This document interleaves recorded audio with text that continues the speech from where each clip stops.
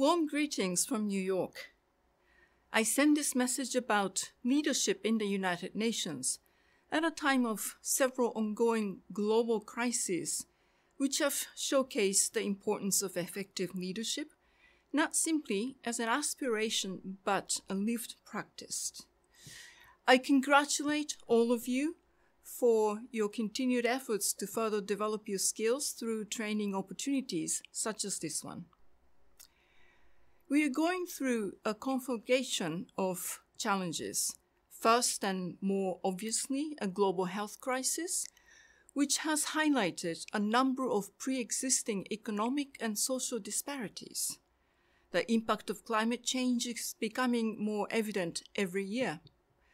We are also witnessing the renewed tension between big powers, as well as continued challenges of new and complex regional and internal conflicts, often against the backdrop of terrorism and violent extremism. Civilians are the victims. Millions continue to be displaced and in despair. The ongoing war in Ukraine, triggered by the Russian invasion, is the most recent tragic case in point. We are, as the UN Secretary General has stated, at an inflection point in history. And all the underscored problems have laid bare the deep rooted structural and systemic inequalities and forms of discrimination across the globe. Addressing these challenges in the short run, while setting the ground for an equitable, people centered recovery in the long run, lies at the heart of our shared peace building challenge the need to tackle the root causes of conflict in a sustainable manner.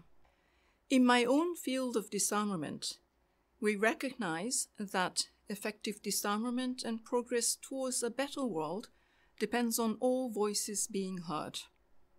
This in turn depends on genuine inclusivity and on removing the straitjacket of discrimination. It also requires working to end the conflicts that would otherwise detract from our strategic goals through impeding people's ability to engage on global issues. In other words, we must not only recover from the COVID 19 pandemic and its various impacts, but must address the rest of these serious issues and build back better towards common security and prosperity. For the United Nations to succeed in this challenging context, whilst embodying inspired and inspiring leadership within the system, is critical to be able to serve the peoples of the world. The Secretary General has recently committed to develop a new agenda for peace, an urgently needed new vision to make the world a safer and more secure place. I don't think the essence of leadership at the United Nations is that different from the general facets of leadership. But as you know, there are some specific features of our organization. We are value driven, meaning that all staff, from the Secretary General on down, are to be guided by the norms, principles, and spirit enshrined in the United Nations Charter and other international laws. We prioritize a people centered approach, which follows from the fact that we are, by definition, a multinational, multicultural, and multilingual organization, which embraces and enjoys the richness of diversity and sees it as a strength. We are a complex system of organizations composed of the UN Secretariat, specialized agencies, and other agencies, funds, and programs, covering a multitude of mandates to tackle various challenges. And as it is often forgotten, the UN Secretariat is one of the six organs of the United Nations. And as such, we do have an extensive level of delegated authority, space, and independence entrusted to us, incomparable to any other international intergovernmental organization. Having said that, let me suggest three key elements of leadership at the United Nations. They are all interrelated and, in my view, all necessary for a successful UN leader. The first key feature of UN leadership relates to leading crafting of vision and a strategy for the team, office, or department he or she leads. As a leader, you should not drift nor thoughtlessly hew to the old approaches. They may indeed be the best way forward, but if so, they will withstand the scrutiny of reassessment. As a leader, you need to allow and indeed encourage innovation and creativity to identify and test new approaches based on solid analysis of the situation you are confronted with and the potential capacity of your office to address it. The world is going through a major transformation, and the conflict, humanitarian situations, or development challenges you are tackling as a UN leader are never static. Therefore, neither should you be. You should have the courage to be open minded to considering something new, and you must be risk taking, although with adequate risk mitigation measures. This is how new visions and strategies are developed, and this is how progress is made. At the same time, you should be guided by data, evidence, and facts, and driven by strategic objectives. As a concrete example, I knew a visionary UN leader who started a non political activity of civilian casualty recording work in Afghanistan many years ago.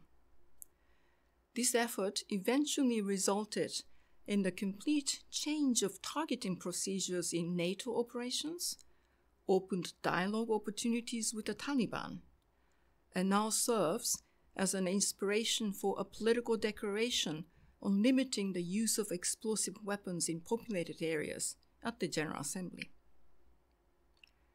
And needless to say, a good vision and judgment is only possible if you know the strength of UN entities and take full advantage of the richness that the diversity of our organization brings. At the same time, you must also be willing to fail, to learn from your mistakes, and to engage in critical self reflection. A second important facet of UN leadership is your ability to inspire people, enable your team, and build alliances and coalitions, thus creating a force multiplier impact.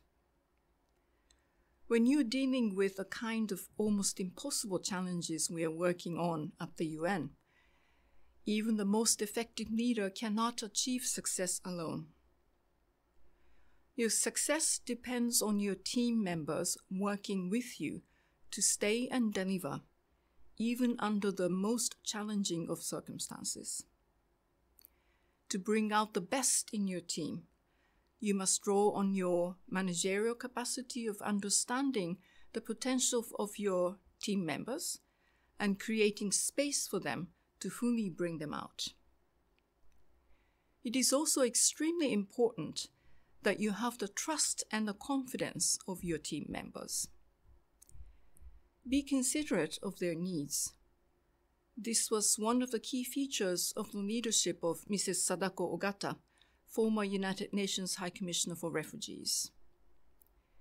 Everyone wanted to work with her and to be part of the team accomplishing the vision she laid out. Communication is key. But communication is not about telling others what you want.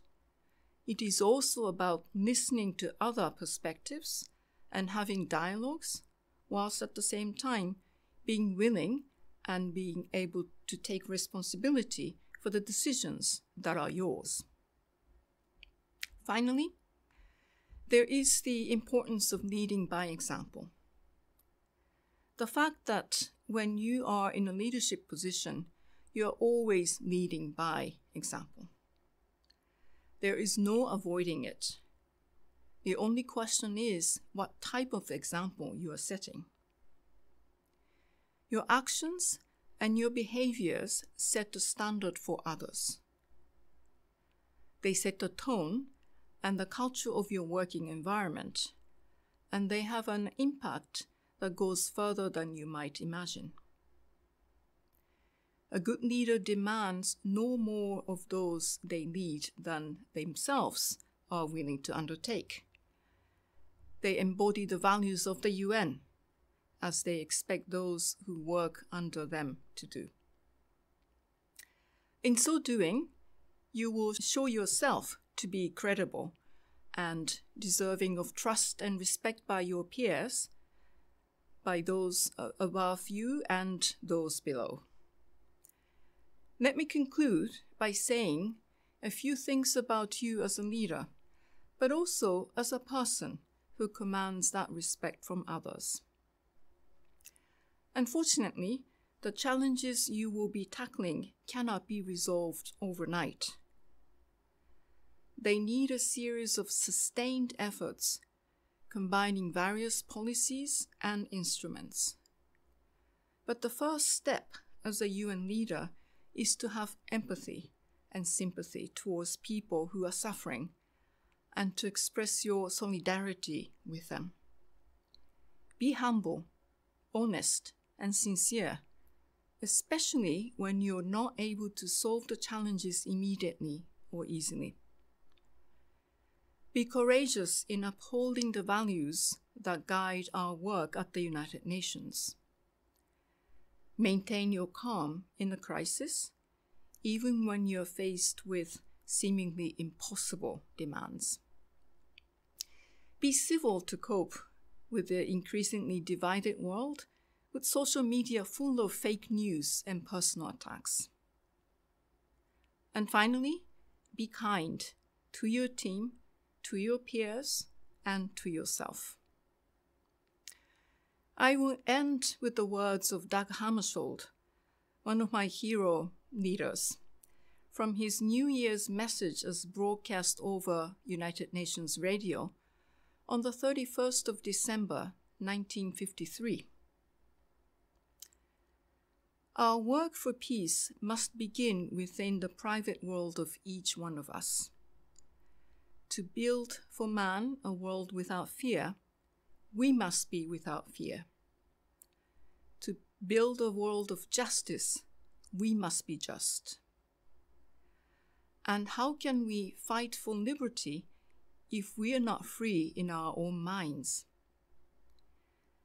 How can we ask others to sacrifice if we're not ready to do so? Some might consider this to be just another expression of noble principles, too far from the harsh realities of political life. I disagree. I wish you best of luck in your training course.